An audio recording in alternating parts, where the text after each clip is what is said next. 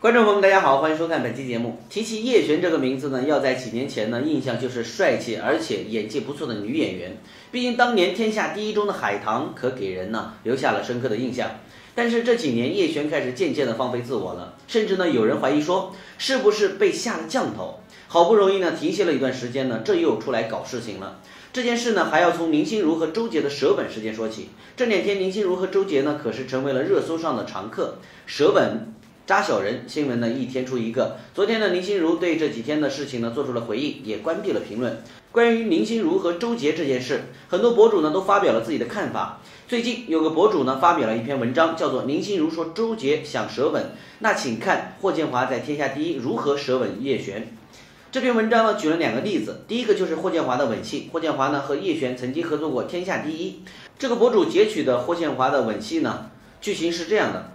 海棠呢喜欢段天涯啊，李亚鹏演的。但是呢，段天涯呢娶了别人，海棠就把感情转移到一直喜欢他的归海一刀身上。然而，最让吃瓜群众惊呆的是，叶璇竟然啊点赞了这条微博。本来这篇微博呢就是蹭热点啊，现在叶璇来点赞了。很多人呢都在质疑叶璇是在借这个话题呢进行炒作。叶璇本人呢到现在还没有取消这个赞，看来呢不是手滑导致的，倒是让人很好奇，他心里究竟是怎么想的。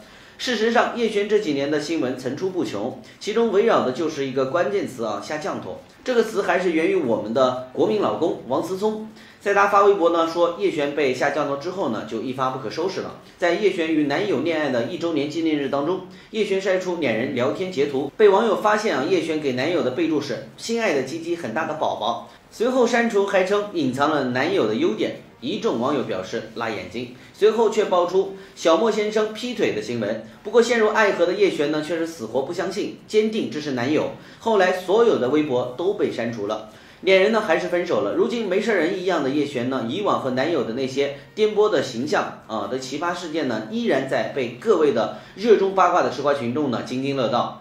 如果说恋爱中的女人的智商为零，搁叶璇这呢是为负啊。不过我倒是不认为这是被下了降头，倒像是沉浸在恋爱中的小女人，完全被爱情和甜言蜜语啊迷昏了头脑，直到事实摆在眼前，狠狠地抽了一巴掌才清醒。